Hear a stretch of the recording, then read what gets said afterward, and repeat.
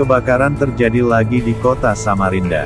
Tanggal 16 Februari tahun 2022.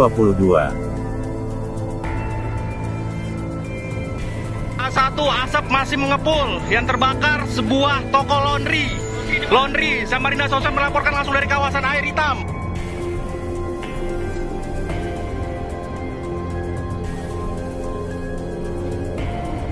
Si jago merah mengamuk di kawasan Jalan Ausyahrani, RT 23, Kelurahan Air Hitam, Kecamatan Samarinda Wulu.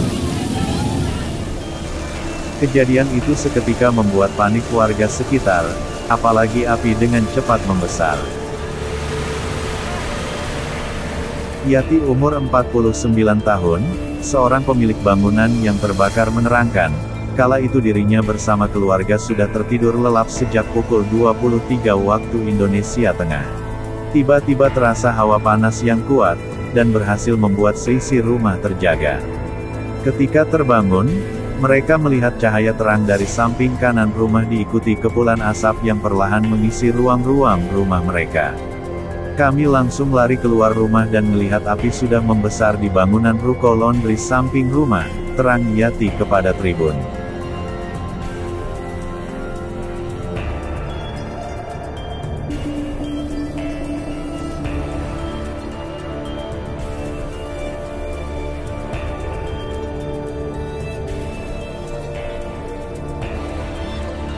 Sementara itu, Kepala Dinas Pemadam Kebakaran dan Penyelamatan Kota Samarinda Hendra menerangkan, dibantu relawan sekota Samarinda, api berhasil dipadamkan setelah satu jam lebih pemadaman.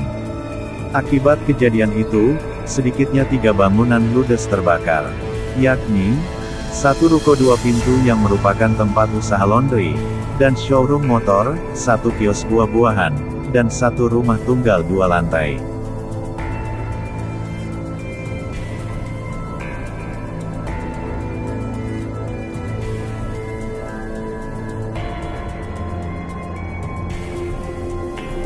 Dugaan sementara, penyebab kebakaran karena adanya korsleting listrik dari ruko laundry.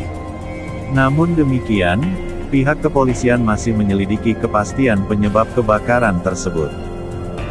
Begitulah kura-kura, pantang pulang sebelum api padam. Saya Hari Channel, terima kasih.